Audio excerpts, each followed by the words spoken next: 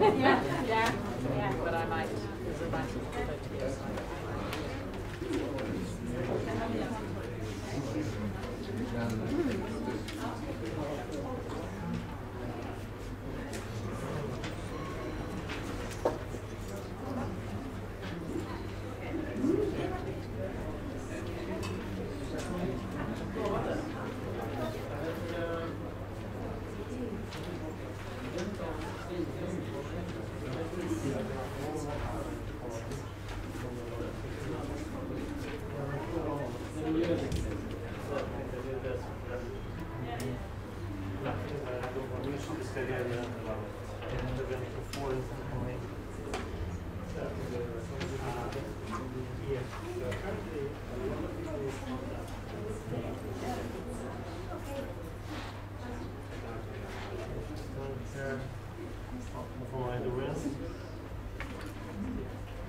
Right. You won't want there to stand, sit on the first row.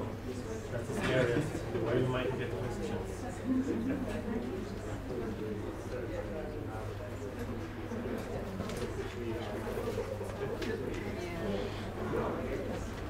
Just before we start, we will ask people to put questions, to write questions on little papers. And we actually made some paper. Dan, could you show people the papers and pens?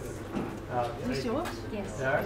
So if you uh, want to ask a question to the audience, I would recommend you to write them on papers. And I will, during the sessions, quite well. So we have pens and papers over there, so if you want to go grab them already now, you're most welcome. Uh, I'm standing here in the wind. Let's see if we can sort. The only way is Should we start? Wait for at least for one minute more. Do you have time to wait for one minute, or maybe two? Wonderful. We're very, it's very tolerant. Well, this And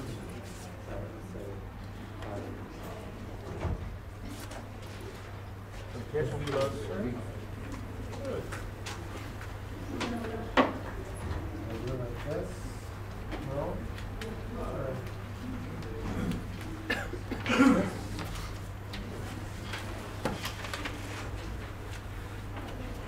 Right. So, anyone more wants to go for a piece of paper?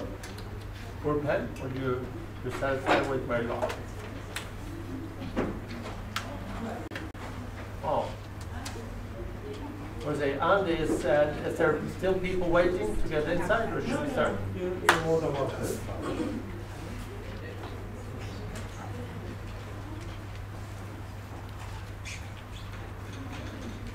Wait for them.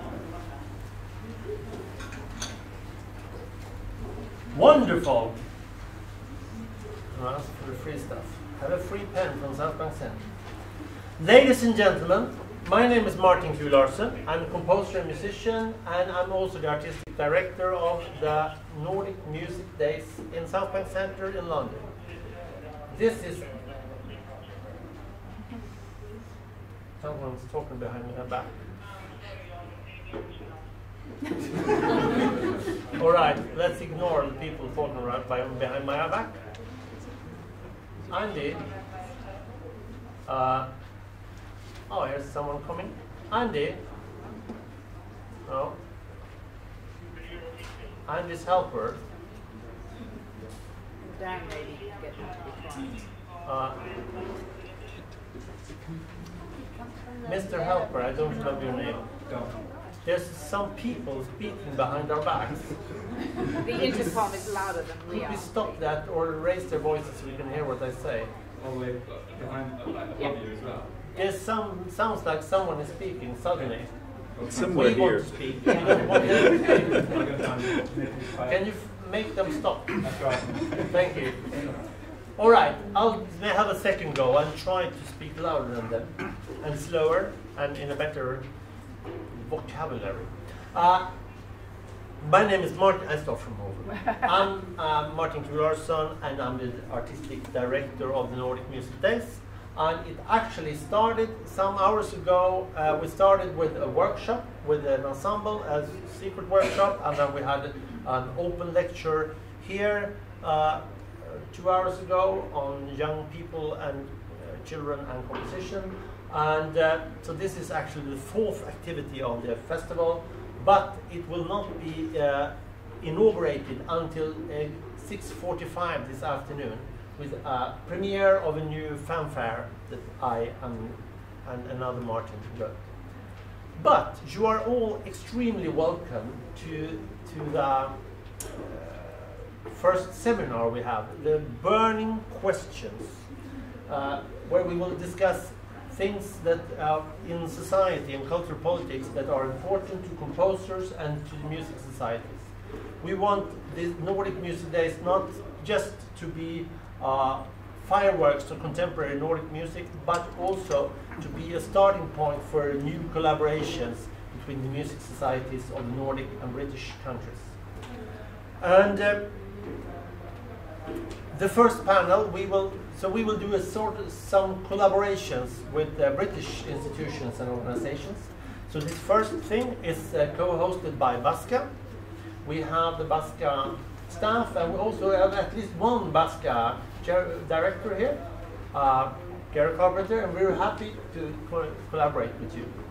Today we're going to talk about gender equality and diversity in music. And we have some distinguished uh, uh, speakers from Sweden and uh, uh, UK. And we, they will give you everything there is to know.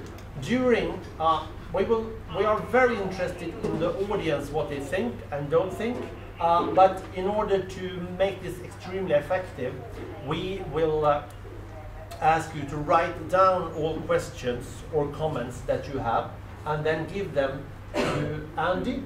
Stand up, Andy, so they can see you. He looks at it. He's a very handsome man. Uh, look straight, look him straight in the eye and do like this, and he will come and collect your notes and give them all to me, and I will read them, or and we will see what happens. Uh, why are we doing this? Why are we spending 90 minutes on talking about these issues, and what do we wish to achieve? uh, we will uh, just keep that question in your minds because I don't want to answer. Them, I want them to answer it. I want you to answer this uh, question. Why are we here, and what do we want to achieve during these 90 minutes, and after these 90 minutes, preferably? We hope that society will still last. Uh, we will talk about. Uh, we will give these six brilliant people uh, an opportunity to have each a short keynote speech uh, because we want we want to make room for more discussions. After the keynote speech, uh, there will be some discussions between the panels, and then we will let in some audience questions, and maybe everything will go around in a big hot pot of, of ideas and questions. And uh, we should not forget that this is not just about uh, middle-aged white men speaking, it is also about music.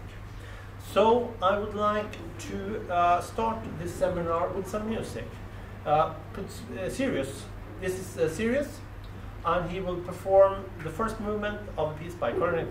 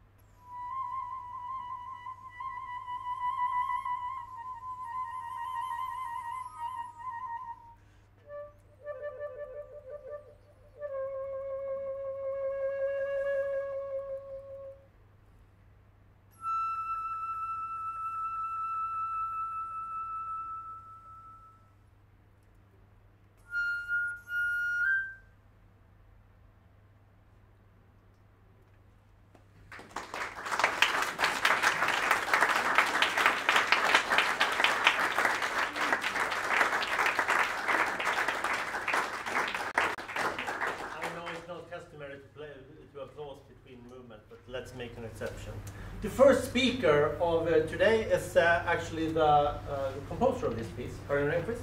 She's an i- internationally renowned composer, just uh, recently worked with the Kronos Quartet. She's a professor in composition at the Royal College of Music in Stockholm, and she is also the founder of the organization Kvast. Karin Rehnqvist. Tack, det blåser som tusan här på. Yes. I think I have to move. I, I We can, we can turn it off. Yeah, yeah. Uh, yes, I have been into contemporary music since the beginning of the 80s when I started to, to study uh, composition. And uh, um, since it, it has been waves of more women, less women, more women, less women, and so on. And then suddenly, when I scanned the, the general programs of the Stockholm orchestras 10 years ago, it was they played zero women. It was zero, nothing. And actually, I got depressed. I went to bed for a week, and at the seventh day, I stood up and said, and thought they need help. And I think that's a very good uh, uh, key word. We have, we need to help each other. It's not to, we need to help. They, they needed help. So out of that, we, we uh, met all women composers and started this Kvast, kvinnlig anhopning av svenska tonsättare. It's very funny in Swedish, but in English it's just Women Association of Swedish Composers or something like that. But in Swedish, Kvast means also brood. So, it, and that's also a picture. And uh, what we did, we counted the, the programs of 15, 15 uh, orchestras, and out of, uh, and then we wrote a letter to them. Okay, we have counted 15 orchestras, and out of 823 pieces, 813 are by men. Congratulations, all men. We are really happy and proud of all men, but maybe it's not uh, the year of 2008. So it was really, uh, I mean, 1.20%. It was nothing. So we said we can help you. We know a lot about women, and we can help you with repertoire. We have made a, a repertoire bank o- on the website, which is uh, you can find historical uh, women composers and from all the world, not only our music, and that's very important. And, and that's um, that is uh, used a lot actually. Um, and uh, we went to the program committees and discussed with them. In the beginning, it was really tense, but it has got uh, a lot. We found, a, a, I would say, a humorous way, a bit humor in, into it, not so aggressive, which which has worked a lot. And we also made a prize, the Golden Broom, which was a, a magnet. Do you say magnet? Yeah. Magnet on the refrigerator, which you put. Everyone, you take a sandwich. Time to take a sandwich. You can think of that. I made something good for the women. Um, so uh, my my uh, uh, det? My advice is when working with this, you should find the good bosses who cares about this because if the boss doesn't care, nothing will happen. So, uh, and we have had some who really cared, and uh, and you need some stati- statistics, statistics, Statistics. yeah, uh, which makes things very clear. You need some humor, and uh, and maybe a, a, a prize also, which get a lot of attention, and we got a lot of attention actually because zero is zero. It's very clear, and that in that uh, respect it was good that it was that bad. And now I, I say it's it's getting better, but still like this. But now it's an issue which you can talk about. Before it was a bit, oh well, women. So now it's really an issue which every program group is talking about. Tack så. Thank you very much, Karin. Next speaker is Nicola LeFanu. Uh, Nicola is, has composed over 100 works which have been widely played, broadcast, and recorded. Uh, she has been commissioned by the BBC, by festivals in UK and beyond, and by leading orchestras, ensembles, and soloists. Nicola. So, a one minute history lesson, I think, to start. In this country in 1912, a Society of Women Musicians was founded. Their aims were to make sure that uh, e- the people who were studying at the conservatoires, which had been open, open to women for some time, a generation or more in this country, actually were represented in orchestras and musical organisations as players, conductors, and composers. That was 1912, and in 1972, they held a big concert here on the South Bank, music composed by women, played by women, conducted by women, to close the society because they had achieved their objectives. and those of us who had begun our careers in the 60s agreed with them because I and my colleagues, composers and performers, we felt we were having we were we were we were having fantastic opportunities. Uh, go forward to 1987, we looked around. None of our students were getting the kind of opportunities we'd had. There was a kind of oligarchy. It was just it, suddenly women's music had vanished from concert programs, and there hadn't been further progress in terms of conductors in classical music. So a group of us, men as well as women, got together and we had a festival here called the Hidden Sounds. And I took three months off from composing and got all the st- statistics together. It is a hard word, statistics. Thank you. Uh, and from the Arts Council, were very unwilling to give them up, but I got them, and from the BBC and the other big players to show that suddenly women had just vanished. And we got the statistics into the Guardian, full page, and it took a lot of attention because they had a photograph there, big of me 20 years before. So that was quite useful because 20 years before, you know, all sort of long hair. Um, right. For about five years, our lobbying really bore fruit. It was terrific, and there was much more prominence for women conductors. Uh, Odaline Martinez conducting Smyth at the Proms, for example. Um, many more commissions for women because certain arts organisations put money aside just for women. But it was a bit of a bandwagon, and what do bandwagons do? They roll by. So after about five years, things kind of reverted. Okay, so what now, 21st century? Well, it's very interesting in this country. We have a, a wealth, a fantastic um, group of young and youngish composers who happen to be women who are very gifted and very successful. We also, and this is crucial, we have some very enlightened administrators who happen to be women. South Bank, Sound and Music, Performing Rights Society Foundation, Royal Philharmonic Society. These people make a difference. Most of my opportunities, in fact, have come about through an administrator or chief executive being a woman. So a lot of people say there's no problem anymore. Well, one should never use the word problem, I think, in referring to the wonderful music composed by women or other people excluded from that white man's club. Um, I think there is still a problem because otherwise, as Karin said, it's a cycle. Things are good for a decade and they're bad for a decade. And we definitely have a role to make sure that we tackle the ignorance of the wonderful music that's out there. There is so much music that is not being played because it is not known by the people who program orchestras, broadcasting companies, maybe a string quartet, a big festival. Look through the programs, and as Pauline Oliveros not said to me, it's business as before.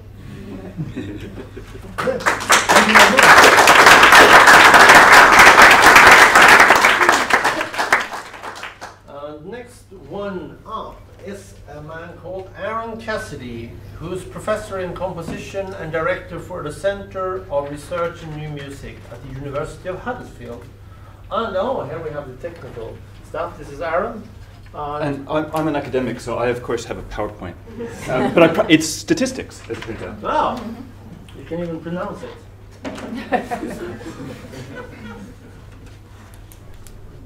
uh, one. Ah, Okay, cool, thanks. Um, so this past summer I was appointed Director of CeReNeM at the University of Huddersfield, uh, which includes overseeing the Huddersfield Contemporary Records CD label. And in one of my first responsibilities on the job, I was putting together an application, and as part of that process, we compiled some data about the label, including a listing of all of the composers represented on the label since its first release in 2010, which we color coded by gender and nationality. Looking at that list, my instinctual response was that our gender balance was something that we should be proud of. So we put the data into a pie chart, which showed that we actually had very little to be proud of.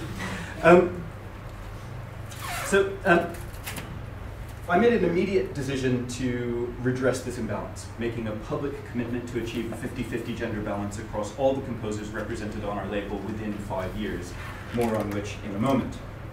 In the discussion about the, the disparity between my impression of the gender balance on our label and the cold, hard reality of the data, my colleague Liza Lim pointed me towards a study from the Geena Davis Institute for Gender in Media.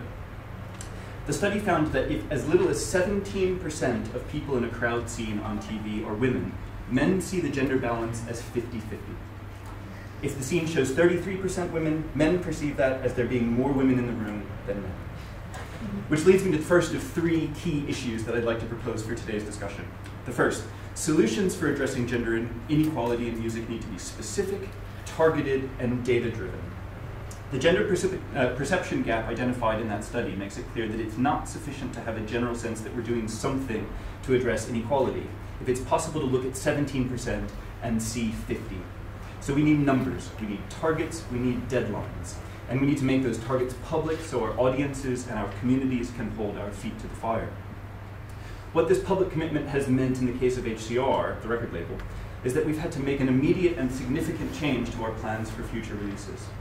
If we're starting with a roughly 75-25 split, to achieve a 50-50 balance means fairly obviously that future releases need to be roughly 25-75. We've reworked some future projects, we've abandoned some projects, we've identified some, some composers to work with who hadn't been part of our discussions before, and we've put extra resources behind projects that support our target. It has, in effect, provided opportunities that wouldn't have otherwise existed. And because time's tight, I'll introduce the other two issues quickly. A 2015 analysis revealed that despite an increase of 1,400% in applications to university music technology courses across the UK, 90% of those applicants were men. My, my, colleague Liz Dobson, who's the founder of the Yorkshire Sound Women Network, has done some exceptionally interesting research about the kinds of methodologies, structures, and environments that are most conducive to establishing gender equality in music technology. In particular, her work has demonstrated that hands-on, collaborative, peer-assisted learning spaces are most effective direct tactile work with soldering irons, circuit boards, and noise-making devices provides a physical feedback that seems to enable a particularly strong and effective level of empowerment and engagement. And I'm hoping I get to show you a little uh, video that proves that in a bit. Um, equally crucial, though, is targeted investment to support activity at the very highest level of professionalism in the field. We need to see strong, successful, influential female models in composition, like the ones on this panel, as widely and visibly as possible, and there needs to be targeted investment to increase the number of opportunities for women to rise to these positions. The data show that there's a precipitous drop-off in participation rates for women in composition across each level of study, from primary school all the way to, say, research professors at an institution like mine.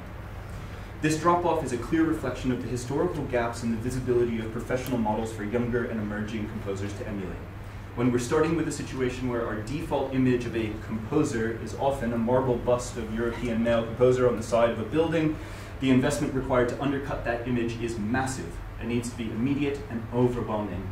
Incremental change is not enough. This is a place where targeted and well-funded affirmative action programs are crucial and where full commitment is needed from institutions with the power, visibility, and financial resources to effect change. Thank you very much.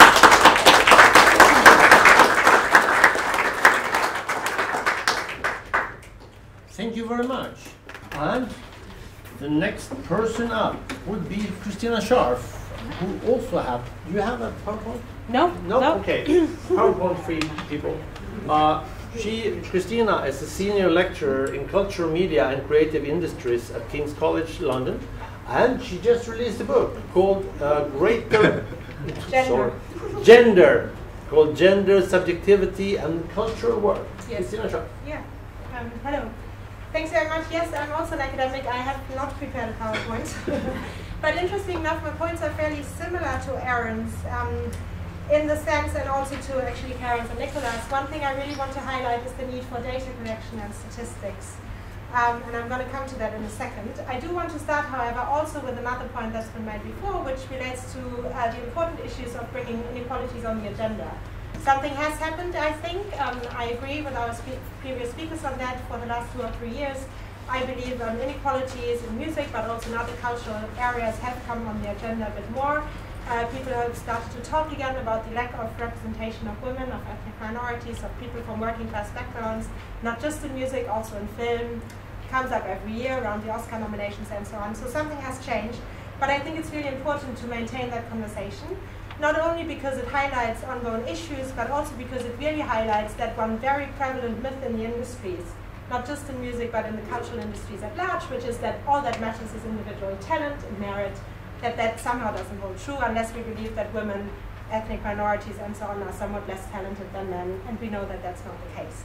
So I think it's really important to keep that conversation going, to highlight this issue, that merit is not the only thing that counts. We know from academic research it's about networking, it's about hanging out with each other, it's about um, having time, it's about financial resources to do a lot of the unpaid work, internships, and all that kind of stuff that gets you into the industries um, in the beginning and all that, all those things. Uh, the second point I want to make, as I foreshadowed just now, is the importance of data collection. Um, and I just wanted to show you my book. Um, I did collect some data. It includes very beautiful graphs. It's also based on over 60 interviews with female musicians, including composers. Um, but it really came out of the need. I conducted the interviews and I realized uh, there was a there were issues around inequalities. I wasn't surprised because I had a PhD in gender studies. Um, but then I realized there's no data, and I was really surprised by that. So I went out with the help, of course, of PhD students who did paid work for me, and we collected um, data on the representation of women in British orchestras, ethnic minorities in British orchestras, staff at conservatoires.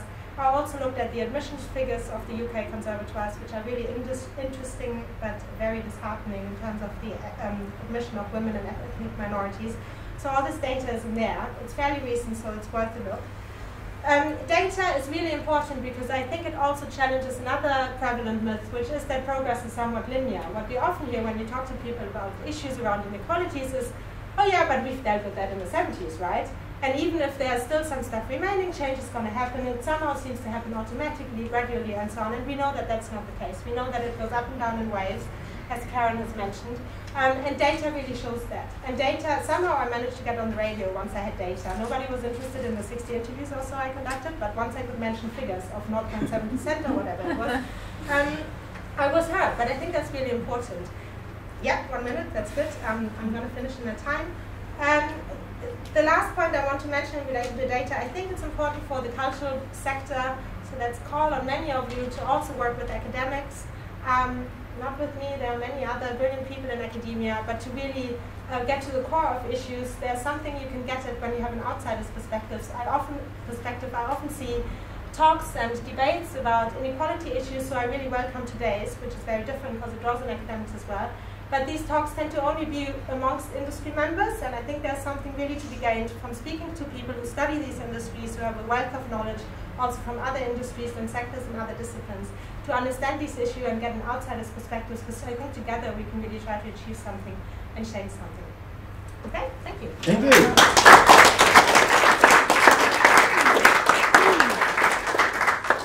And the next speaker, the penultimate speaker, is also a writer, Paula Wolfe. She's an academic and also a songwriter, and she's author of the Women in the Studio, Creativity, Control and Gender in Popular Music Sound Production. Paula, please.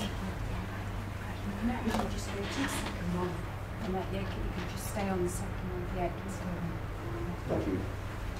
Hello, so I'm going to um, make some very similar points that have already been made this afternoon, but with specific reference to popular music, uh, and in, in particular to the independent, the UK independent sector. So the Children's Laureate, Lauren Child, has recently vocalised fears that an overly prescriptive and goal-driven approach to educating young children is dangerously at odds with our need to be creative. She argues that often creativity is discovered by accident and that we need to make time for these accidents to happen.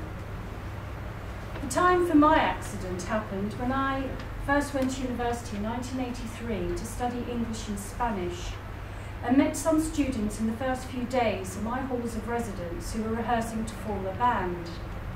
It awakened in me the creative explosion of songwriting and it changed my life. That wouldn't have happened if I hadn't received a maintenance grant as a student from a low income family to go to university. A few weeks ago, actor Tom, Tim Roth made a similar point on Radio 4's Front Row with regards to acting when he commented that unless you can get some kind of grant to get into drama school, you're buggered. And so it will be rich people in the acting game unless you give poorer people an avenue, a doorway to step through. I form part of a generation of, of creators of working class origin who were the first in their families to go to university or drama school or art school and step through a doorway to experience the validation of our creative responses to the world. That sense of entitlement to create, in this case music, is one that many people of privilege are imbued with from an early age buoyed up by private music lessons and access to the arts, which can take many people of less privilege half a lifetime to achieve. My book is about creativity, control and gender in popular music sound production, set within a 15-year time period from 2002 to the time of writing. This is a period of time in which self-production by artists has moved from marginal to standard practice, a period in which women's underrepresentation as music producers has attracted attention, and a period in which music production as an academic field has been established. My book argues the importance for female songwriters and composers to be in control of their own sound. But an artist's gender is not the only issue. In 2011, Andy Heath of the Beggars Group stated, I don't actually think there's a massive gender issue here. I think there's a massive social agenda, absolutely colossal. The absence of social diversity is absolutely terrifying. In 2017, a fragmented music industry reflects a fragmented society and is characterised by contradiction. Society imposes expectations and holds up norms determined by gender, class, race and age. Success in the music industry can depend on how well an artist in particular conforms to those norms. Consequently, disparity exists between the work women do and the way they are received and represented. A lot of work has taken place to raise awareness of gender and diversity within the music industry's UK independent sector, with AIM's Women in Music and Entertainment events that have been running since 2007 a prime example. But this work takes place within a broader music industry culture that does not respond well to challenge. I suggest therefore, last sentence, that the situation of gender and diversity is positioned at a line of faltering progress whereby raised awareness remains at odds with prevailing values that result in marginalisation. Thank you.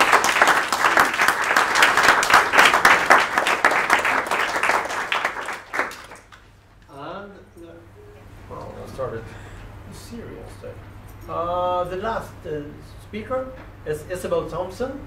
She is the strategic, strategic coordinator at the Swedish institution Musikverket, and she's working with gender integration and funding. Isabel, please. You have a clicker.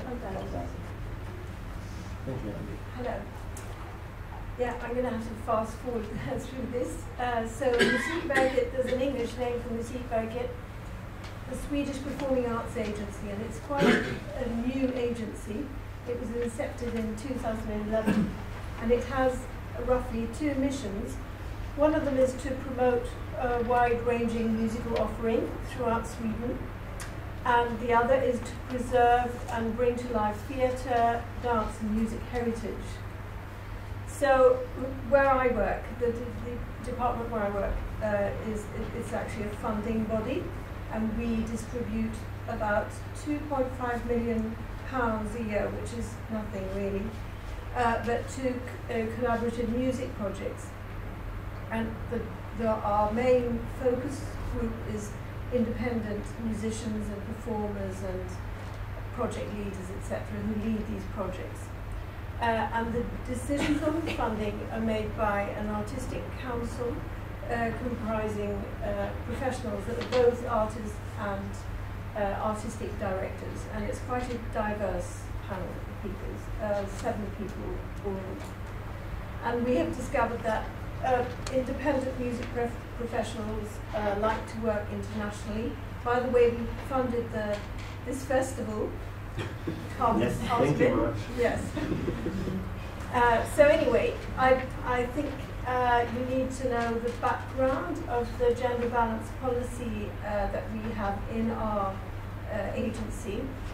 It, it actually, I mean, gender balance uh, policy started in, in, in Sweden it became an area of government policy in the 70s, and the minister who is responsible for that is the Minister of Children, Elderly and Gender Equality, and the ministry is the Ministry of Health and Social Affairs. And these are the national policy goals, so gender equal division of power and influence, economic gender equality, gender equal education, equal distribution of unpaid housework, that's the part that's working the least. Gender equal health and uh, to put an end to men's violence against women. And we have a feminist uh, foreign min minister of foreign affairs. I don't know about you, uh, but uh, so for uh, Swedish foreign policy uh, is about obtaining the equality between men and women also internationally.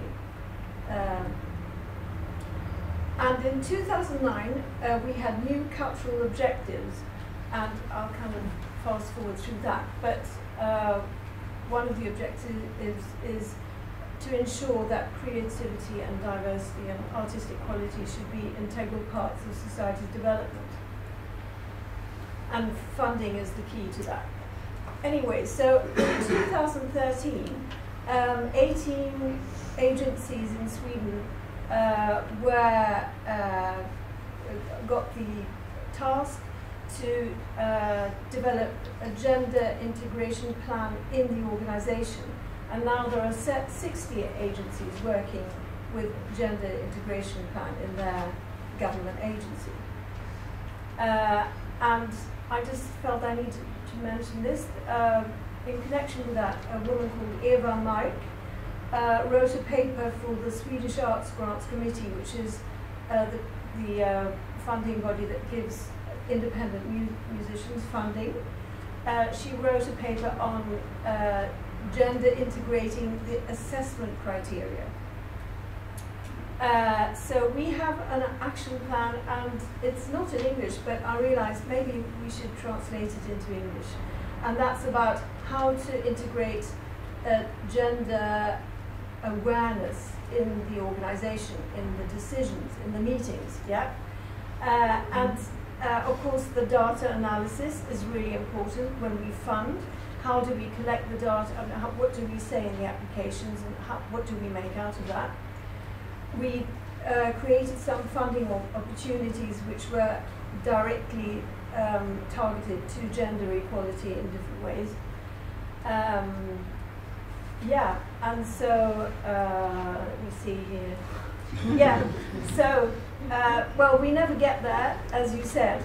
Uh, the minute you kind of stop concentrating on that, something's going to happen and it just goes down the drain, all the work you've been you've done. Uh, and uh, so, for the same reason that gender equality and artistic equality are not in opposition to each other, the same thing goes for diversity because we need to work a lot more with diversity issues in Sweden and in our Thank you very much.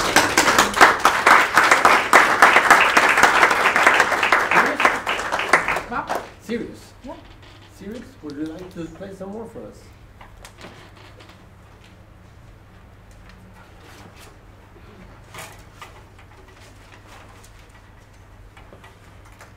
Thank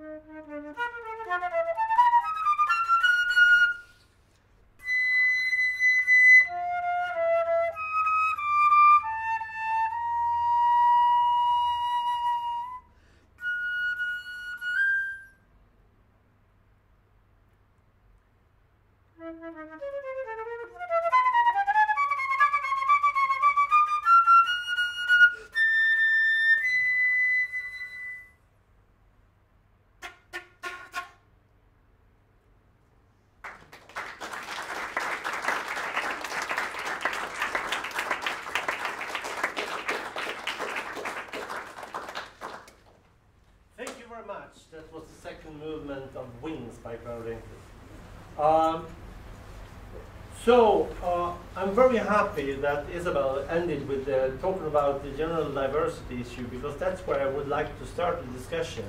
Um, and I would, I'm very interested in words of the etym etymology of uh, words, where do they actually come from and what do they mean literally. In Swedish, um, especially the term diversity, very popular in EU in general, in EU papers especially. Uh, in Swedish, we use the uh, word that literally means multitude, and then we see the alternative to multitude. Yes, there. Uh, the alternative to multitude would be singletude. I'm not sure if that's a word in English, but uh, in Swedish, uh, synonym to singletude is uh, stupidity, and mångfald and enfald. And I'm not sure if this uh, Swedish pun goes is transmissible, transferable to English. But I would like to ask the panel why why is uh, diversity in gender and in other aspects uh, desirable? Why do we want to achieve this? What would, do we have to say, Nicola? Well, to start with, if any culture only used uh, 50% of the of the gifts and talents of its population, that, that, that would be a daft thing for a culture. I mean, it, what a curious and weird and, and weak and impoverished culture it would be if it only used 50% of its available pool. Now that's the gender question, because almost all populations are 50-50. Some are more than men, but whatever. But if you tackle one prejudice, if you alert people, the old-fashioned phrase of my generation, of course, was raising consciousness, to the problem that women face, you're actually alerting people to the larger question of diversity.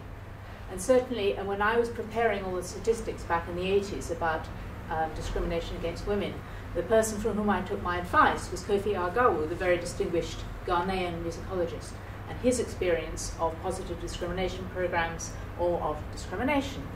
Um, and one crucial thing, which is that just as you, I think Karin mentioned, you can't, you can't tackle sexism with sexism. You have to have a sense of humour in approaching these issues. And if you can alert people to the prejudices they are not aware they hold, then whether you're talking about um, a prejudice of class or race or gender, each one will alert them to the other, if, if you see. see. So that's my feeling about diversity. You need all of the talents of the people. Paul? The very same point has been made in popular music, whereby Alison Wenham, who was chair of AIM, is now chair of WIN, when she was striving to challenge the underrepresentation of women at senior level, one of the things AIM did back in 2007, and then it was promoted in the years that followed, was to encourage women to put themselves forward to go onto the board. And one of her motivations with that was exactly she said. She said, if we, if gender equality was wasn't as great at top level, that would seem to imply that the other inequalities would not seem to be as great. So that's been echoed in popular music exactly the same. Uh, Christina? Yes, in relation to the issue of why diversity matters, I think especially in the arts we have to ask ourselves, um, you know, who creates culture? If we see cultural goods, culture as something that represents us our, as us as a society, we should represent the whole breadth of whoever, um, um, of um, who the society consists of in terms of gender, in terms of race, in terms of class, ability, age, um, and to use a typical phrase, so on. Um, and I think that's very crucial and something that's not so often discussed. because culture is often seen as a luxury or something, you know, something uh, that you just go and enjoy. But actually, I think it plays a very central role in fostering our understanding of us as a society and culture. And therefore, it matters who also makes these cultural goods, who creates them, and who works for the cultural workforce. Yes, Isabel? Well, uh, from our point of view, as a government agency, everyone in Sweden pays taxes, and they're all Mm. uh, from, you know, working class, whatever. They uh, have, uh, uh, there, there may be second generation immigrants or first generation immigrants. In any case, they're all paying taxes, and so we should be reflecting that in all the work that we do. Well, I could also add one thing that uh, Norwegian festival, music festival, that I unfortunately just forgot what the name was, but I spoke to the director. He said that they had, uh, I think for this or even for last year, they had the goal of having a 50-50 representation in artists, in, in composers, and in, in uh, administration. And they reached it. It wasn't that hard, but what you had to do is sometimes you had to make have more discussions of, of who should be program or who should be choose, which meant that they actually had to make better choices. They had to discuss things through once more, not just like, oh, let's have this and this and this. It, it needed more work, but it also uh, rendered a much higher quality uh, overall in the festival. I was- those, those four answers were all really beautiful, and, and I'd like to add one very cynical um, additional approach, which has been um, quite relevant for Liz Dobson, who I mentioned uh, earlier. So, because she's been working in music technology, when she's raised this issue about the dearth of women who are participating in music technology, she's gone to those companies and said, Your potential market share at the moment you are selling to 50% of the possible people who might buy your software or your hardware. And that's worked really well. She has sat in boardrooms and she showed them pictures of girls using this software. Sell no, n- more kit. Uh, thank you. Uh, Karin? Yes, uh, about mu- music and technology. Uh, I mean, also working as a professor, then we, we always ha- has to ask uh, how could we locka, uh, I mean, may, alltså göra det, Attract, attract both women and men. And we have this uh, music and technology program, and they changed their name to music and media, and now there are more women than men. so, yeah, that's interesting. Small things can. can Small things matter. Uh, that's uh, interesting. I, just to answer, have you collected any audience uh, questions yet? Or do you have any? So Andy's going around while we're talking.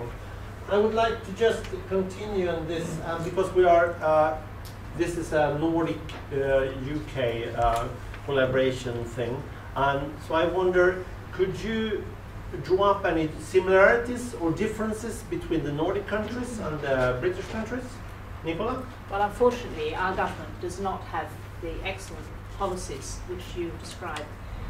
Um, and to give one practical example, um, when I went in 1994 to the University of York, which had a very stringent um, uh, process of, of admissions for people in music, rather like the conservatoires with auditions and so on.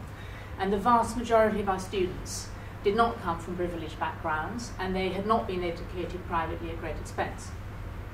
Now, at that same university, the vast majority have been educated privately, and I mean not all.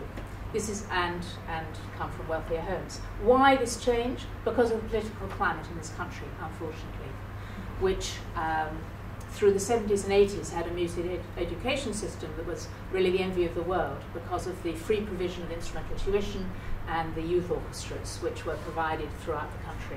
Um, but our political system is becoming increasingly right wing, regardless of what the party may be called, and most of that has has fallen away, um, and it's very very unfortunate. And so we look with envy at the government policies of your countries. And from uh, Nordic countries, do you have any ideas of what could we see for similar similarities or differences to UK? Do you have any Well, the similarities. I mean, uh, the, it's obvious to me that in the UK you want to work with these questions, uh, and um, I think something we could learn from you, at least in my agency, we could learn. That we could probably get together and talk about data analysis and so on because we need to. Uh, in Sweden, we tend to be maybe a little bit too unacademic about things, and I think we need to kind of um, tweak that up a bit. Uh, I don't know if that was an answer. Academic in what way? Well, some uh, like uh, anal analyzing data and kind of Yeah. uh, theorizing a little bit more. There are a few people doing that, but we need to do that a bit more. Karin, Yeah, I, I'm also. It could be also very easy things like the the boss at the Stockholm uh, Concert House, Stefan Forsberg, who, who has really tried to do something, and he always put this question in the program group or, or whenever they're doing. So, what does this mean to women? What does it mean to men? Always just this question, and it, that opens up then, and, and you you have the eyes open. I know Jan Olof Gullö is doing mm-hmm. some work in Stockholm at the moment. He was talking about at the Art of Record Production last year, where he's doing a study looking at the pathways people take to create popular music and is comparing the success of those going via higher education or those who are going the self-taught route. Now, whether he's including gender in that study, I don't know, but I do know he's about two years into it, so that might produce some interesting results.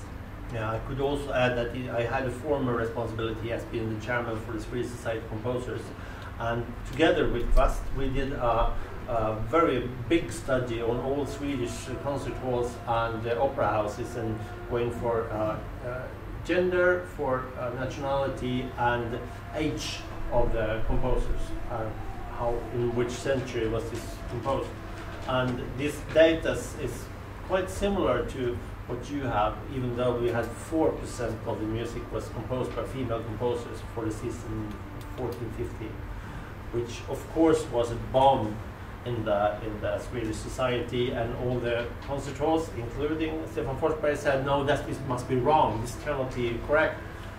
But no, and it turned out we had missed one concert of 30 minutes that they kept secret from us. So then it became from 3.8 to 3.9 percent composers. Uh, could we just extend uh, this? Is, we have been uh, people have been addressing it about also about class and about uh, ethnicity and other aspects. My impression is that 95% of Sweden, at least Sweden's uh, musical life, including uh, composers, performers, and audience, are white, middle class, middle aged uh, preferably men in the composers, but we're getting more even. And do you have any any comments, thoughts, ideas about uh, other diversity issues than just gender? I, I mean, I, two two things that I didn't have time to include in the in the talk. But I mean, the first is I'm also totally aware that let's take the 50-50 target. That that's a quite old-fashioned idea of, of gender already, um, which is problematic, and we're kind of aware of that. Yeah. Um, and that the problem around ethnicity in particular is way worse um, Yeah. than this than already a you know a significant problem around gender. I, I mean, and I, I don't even know where to begin, other than using the same kinds of same kinds of strategies. Um, yeah, I'm just looking through here because obviously I can't remember the numbers by heart. But we, for example, looked at uh, the ethnic background of teaching staff at UK conservatoires, and um, there were less than 28 from a black and minority ethnic background, and 1,317 from a white background. So you can see that that's very little representation. And the admissions figures of conservatoires I found very heartening, uh, very disappointing in that case. Um, so we had in 2011, 2012, and 2013 um, 110 black undergraduate applicants applied, but none were accepted in those years. Um, I mean, that's publicly available data. I'm not disclosing any secrets here um, because I know that they don't like me to talk about that stuff. Um, but but this this speaks volumes, I think. And there's lots more data, of course, that we can draw on. Um, another point, I think, in relation to ethnic diversity and at least Western art music or so-called classical music is that we also have to distinguish between different groups. I think um, uh, what in the US is called East Asians, um, or here East Asians and US, Asians, um, uh, they tend to be quite well represented as an ethnic group, so there's differences amongst ethnic groups, and I think that's quite important to highlight as well. That's not to say uh, that uh, East Asians are treated equally at all. and there are also issues around that, I think. But that's to highlight that you know ethnic minorities aren't just one same group, in the same way that women or men aren't just one same group. And you were also, Nicola was also addressing the the income, and uh, because both ethnicity and uh, gender are usually quite visible in people, but uh, the class and how wealthy you are uh, is not always that visible until you start speaking. And uh, so the question is, do you have to be wealthy, or do you have to have wealthy parents in order to become a musician? Well, certainly in this country, um, it is very expensive nowadays to train to be a musician, and also the, the provision that we have in terms of scholarships and facilities is actually quite small for our population. We, we have nine conservatoires in, in the UK. Now, Finland, because we're being Nordic, I'm citing Finland. Finland, which has a very small population compared to the UK, has 11 conservatoires uh, and, a, and a program of music schools that feeds into them. So that the provision of music education is, is far superior. And therefore, to me, it's sort of no wonder that there's a very healthy musical culture in, in Finland. Of all, you know, folk music as well as classical music and so on. It's not, not just one genre.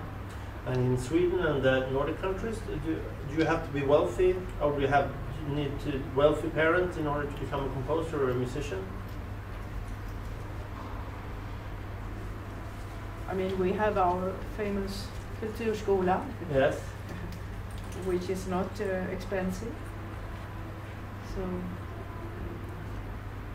So maybe not. Maybe not, not but of course it's easier if you, uh, if if your parents Yes, of course. If you have interested parents, uh, you will get further. But yeah. that will go further. Yeah. Christina um, and then Paula. Yeah, I just wanted to make a, a, point in relation to class. What I think is also very important, and I'm drawing here on a study of Anna Bull, who is a sociologist at Portsmouth University, who conducted research on um, young people from diverse socio uh, socioeconomic backgrounds uh, uh, pursuing music education in the UK very recently. And she's shown that it's not the income only that matters or the wealth of your family, uh, but really the culture. Uh, who feels a sense of belonging when they go to a concert hall, when they go to youth orchestra, and so on. Um, a lot of young people who came from so-called musical families reported that they were kind of raised listening to classical music, going to concerts, and you can kind of see from there that they might feel more at ease in a certain environment and make it further. And I think that's very important too to also talk about the cultural dimension, because it could be a bit of an easy way out to say, oh, sorry, you just can't afford it, so we're not going to change anything, because that's something one could change as well, to make a di more diverse range of people feel comfortable in a certain environment. Just to give a popular music perspective on what Nicola was saying, I mean, in, in the opposite way, there's been an explosion of degrees in popular music. Mm. Um, and I teach at the London College of Music at the University of West London, and that's just one of many that is, you know, offering very interesting courses. But the majority of students, because of the fees, they're middle class. You know, or and increasingly in, in the in the postgrads, they're, they're students coming from abroad. So I'm, I, am not seeing at all any working class kids coming through. And that shows actually, uh, uh, you know, from my perspective, it shows uh, people, we, we give uh, money to collaborative projects, which means that you have to make an application, uh, you have to be able to write the application, and we don't really, we don't demand that you write particularly complicated, we, we ask questions that you answer, it's, it's simple, but just for some people, the idea of making an application to a Swedish government agency is too much. I mean, they just they they don't expect that their application is going to be taken seriously, unfortunately. Uh, so that's a big problem. The way you do it. Uh, we have uh, we have got uh, three questions from the audience. Do we have any more questions from the audience coming up? Now that you have been very concise. Uh, very good question came here. A very prominent argument against, for example, having a gender balanced concert program is that it would mean to choose pieces in accordance to gender balance and not quality of the pieces. How can this argument be countered and how should one respond to this argument? Aaron. Can, I, I really want a chance to answer Yes. this. um, so I, I wrote a little something about this, um, our, our record label Target, and um, embarrassingly, um, my former head of department, um, John Bryan, asked this question of me. He said, you know, uh, what's, how, do you, how do you answer the question of does this cut down on the number of opportunities for male composers, and isn't that unfair? Um, and uh, no, it's not unfair, is the answer to that question. There should be fewer opportunities for people who look like me. That's, I mean, like, I have absolutely no problem saying that, that if we accept that there are limited resources and limited opportunities in our field, and we want those opportunities to be divided more equally, then by definition, there need to be fewer that go to people like me. The end. Nicola. Yes, um, I was just going to read something from this uh, London Review of Books, the current issue, where uh, there's a great article by the Irish novelist Anne Enright. She says, The argument about excellence, that women's work just isn't good enough, is incredibly hurtful, given that there is so much mediocre work by men around. and I, I have so frequently had to, you know, been asked to counter the argument. Well, you know, we don't program this music because it's not good enough. That, that's why I use the word ignorance in my talk. It is our duty, all of us, to make people aware of what wonderful work there is, which they don't know. I mean, on the whole, I find that when um, an impresario, and usually a male one, says, I, I can only program like this because there isn't good enough work, this person does not know the repertoire of what is available. That, I, I think that's important. I, I also think that by setting those kinds of targets, you know, we, um, Liza, my, my colleague and my predecessor in, in my current role, um, gave this amazing talk in a similar kind of situation in Australia a couple of weeks ago. And she talks about this as being about luck and very much kind of structural luck. And one of the reasons why she has had the opportunity to become the composer who she is, is because she had opportunities to develop as composer and write big orchestra pieces and write large ensemble pieces. And we have to construct those opportunities. Yeah, absolutely. It isn't enough to just say, you know, well, it isn't just about quality. It is about No, actually absolutely. generating that quality. Yeah. Um, if I may add something myself, one of the things we can do is also like Karin says, help, because either it comes, whether it comes to uh, female composers or it's become living Swedish or Norwegian or Danish composers, uh, when you ask the general uh, concert hall boss, they knew very, very few of these. So if you give them a list, okay, here's 200 uh, Swedish female composers, uh, living and dead, uh, just pick five of them. Have, you know, of course, no one can know 200 composers and their music, but they can at least know 20. You could demand on this. Yeah, it's the same on, on a, a music college with repertoire. I mean, uh, we have had a project now trying to, to increase music by women composers into the e- education. And it's a, a, a great job then to find repertoire and but I I mean if everyone find finds one piece then, then it will be uh, many pieces. But So, for example, in, yeah. in, in our postgraduate series this year, all of the class, all of the music that I'm teaching Yeah. in our music since music in the 21st century Yeah. series is all women, yeah, 100%. yeah. I think the attitudes we're highlighting here, or the issues we're highlighting here, they have a long tail because historically, in all cultural fields, creative genius is gendered masculine. And because of that, that still carries on. So that's why we don't look. Absolutely. Because it is the, and um, Emma Mayhew um, coined a wonderful phrase uh, back in 2004 in a publication with regards to music produ- uh, production, but she talked about patriarchal assumptions. And whenever it comes to creativity, and certainly controlling creativity through music production, those patriarchal as- assumptions determine how, how, how you know our attitude towards women who produce and or, or and or create, and therefore stop us looking. we had a good comment from the audience here. Uh, isn't that there, how, sorry, I'm not reading too well.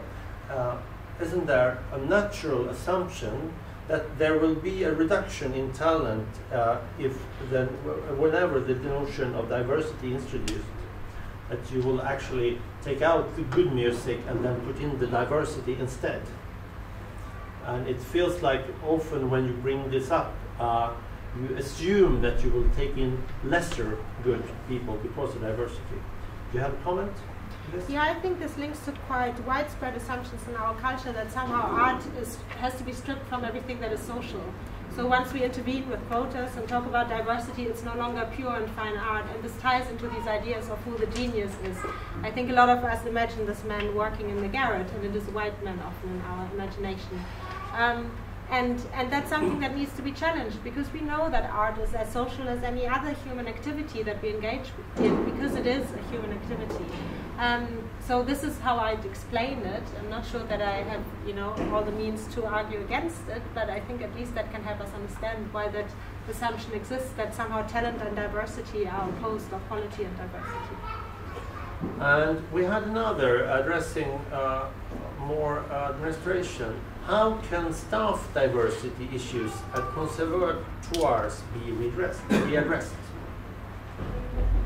And I could start that comment by when uh, Swedish Society of Composers did uh, three consecutive uh, projects on gender diversity because we tried to figure out why is uh, composers uh, compo composition necessarily a very male activity what and uh, why were there so many male composers? And we went down to the conservatoires and asked them about this, and all six conservatoires, as are in Sweden, said we don't have this problem because we only see uh, to quality and not to gender.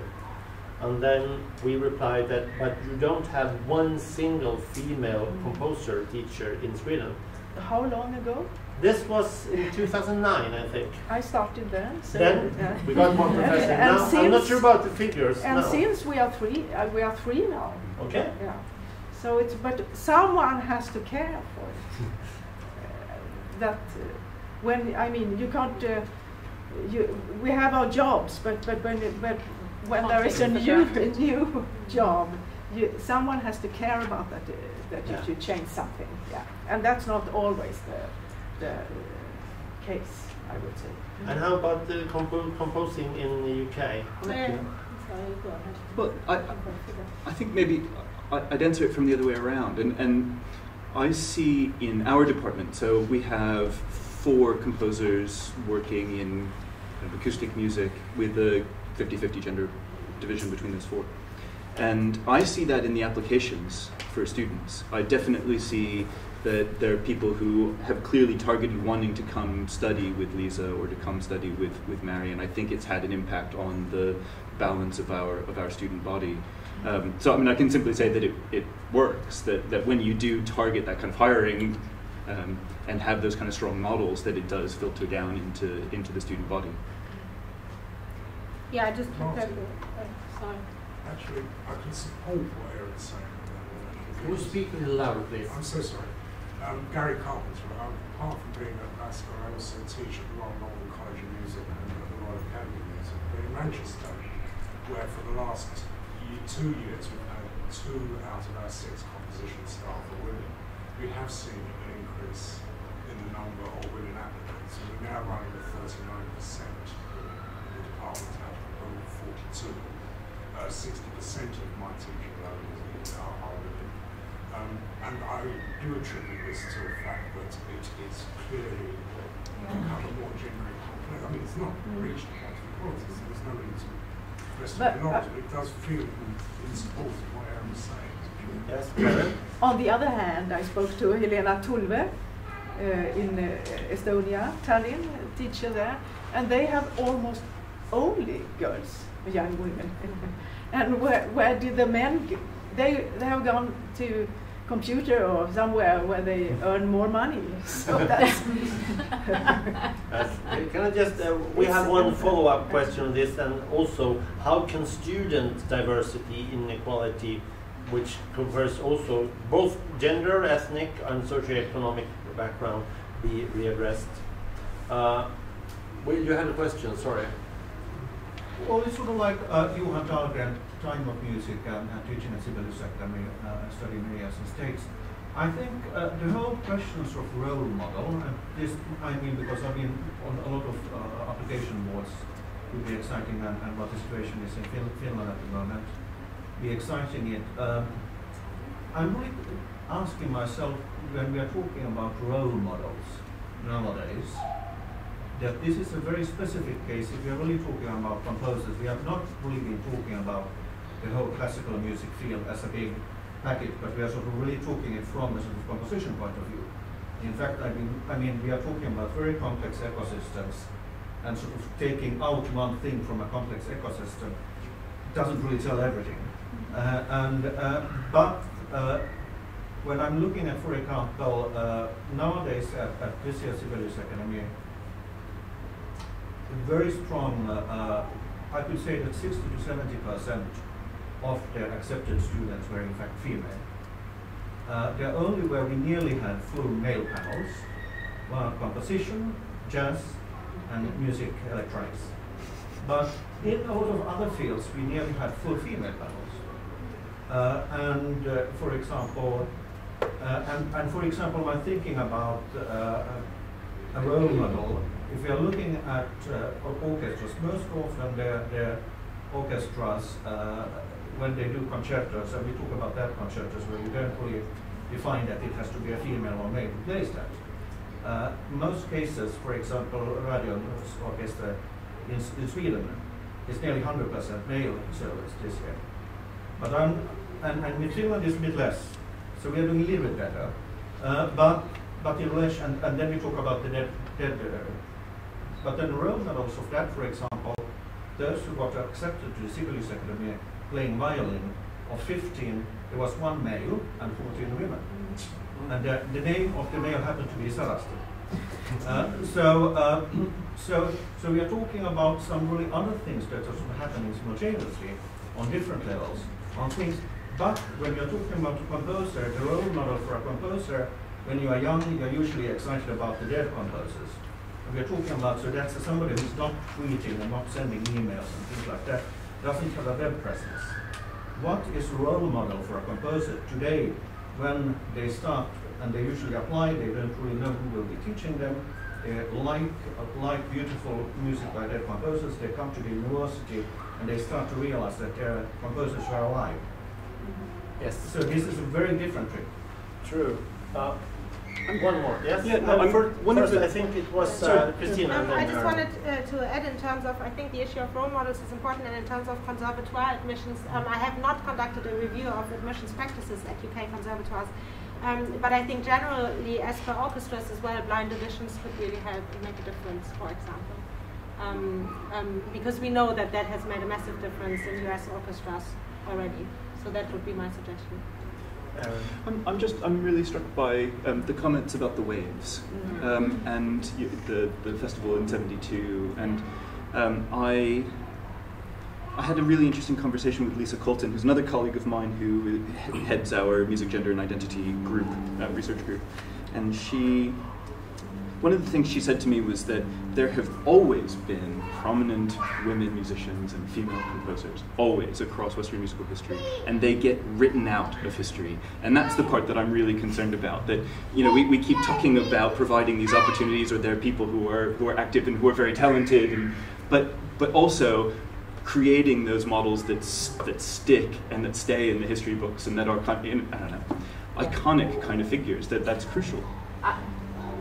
I was just going to say it's not just staff at conservatoires, but if you look at the library holdings and if you look at the course content, mm. one of the things that I find depressing mm. is that in most degree courses I've looked at, uh, if there's a woman on the staff, she may well be using examples of music composed by women as well as by men. And very, very few of the male staff are doing that. I mean, I must have counted countless courses on string quartets and specifically on Shostakovich string quartets, and never on the Elizabeth Maconchy quartets that's written out of history. Uh, we got another very good question to maybe wrap this up uh, and add addressing what we spoke about earlier.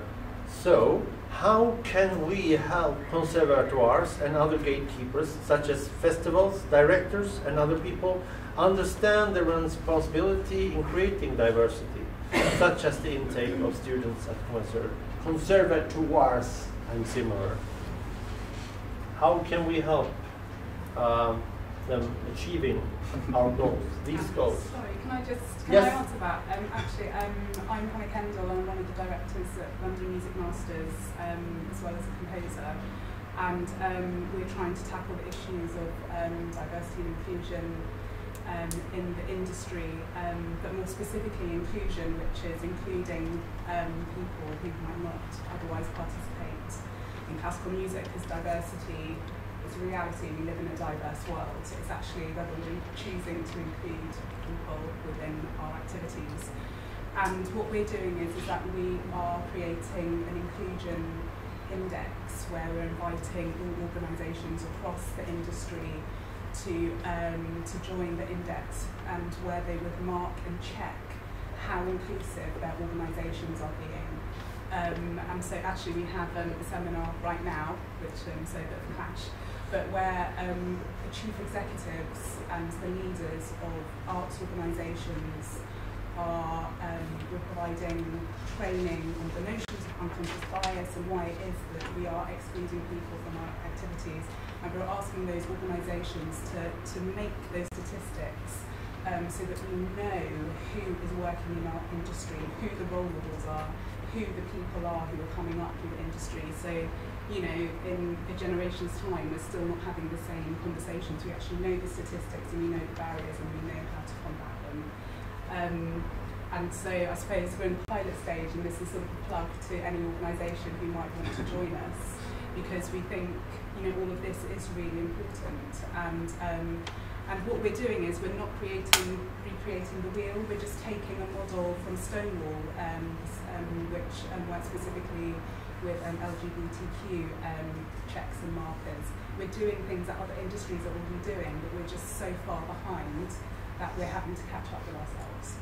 So, Thank you very much. I would like to wrap this whole uh, thing up uh, by asking the, the panels uh, the first, the same thing I asked when we started. What did we achieve today? What have we achieved by discussing this uh, for 90 minutes? Or is it something that you remember specifically uh, from the speaks? Uh, who would like to start? Or should I just point at you? Okay, you Um, will start. I, I'm now thinking of perhaps we have to open up when talking about because uh, I feel often contemporary music we feel a bit threatened by all the commercial music and by and and perhaps we should we should open up in in taking in other genres and mix more and uh, I don't know. Opening doesn't- up. Yeah. Thank you, Ed. Paula. Bring back maintenance grants uh, for students of working class backgrounds and get rid of tuition fees for them as well. Uh, well, I agree with Karin and with you too. But, uh, I mean, well, it doesn't really apply to Sweden actually. Uh, but, uh, yeah, one thing I came to think of now is we're talking about role models and about focusing on women as uh, uh, the, the female group being the one that needs to be helped up. But actually, at the same time, you need to work with the male identity as a, a role model. There's a festival here called Being a Man, and I think that's an important part of the whole issue, actually. Apart from, um, we do work a lot with including other kind of music styles. I hate talking about genres because that that's also a way of locking people into different, like assuming that everyone who does hip hop is of a certain has a certain socio-economic background. It isn't really the case, and that contemporary music is only white people. There are a lot of really good Arab uh, people that we in collaborative projects that do live electronics and really interesting exchanges. So, but yeah, we need to expand our definition of who we can fund. Yeah. Aaron? Um, the Title IX um, legislation in the US, which was passed in 1974, made it illegal to use federal funding for any program that didn't provide equal opportunities for both genders. And um, in sports, in particular, um, that went from about 300,000 girls participating in interscholastic sports in 1974 to 3.1 million now. Um, and so my, my kind of final my final thought is that it's kind of connected to your job, which is um, money. Um, and at a certain point, the organizations that give money have to set those targets and make it a rule um, that, that, that, we have to, that we have to give money only to organizations that are meeting these gender targets. Yes, I think following on from the previous speakers, money, or to put it slightly different, um, and I've said that before, uh, Hannah has certainly heard that a couple of times, um, inequalities are a structural issue, they are a wider issue, and they also need wider solutions and not individual solutions. So structural solutions like uh, leg legislation are important and uh, they need to be there to tackle those issues. I would agree completely, but never forget that every individual can make a difference. So there have to be strategic solutions. But time and again, I've seen and I've attempted to live my life by this that if you speak up and if you find the right person to speak to, whatever else it may be, one person can make a difference. And you can maybe open the door for someone, or maybe you can change the attitude of someone who's programming or whatever else it may be.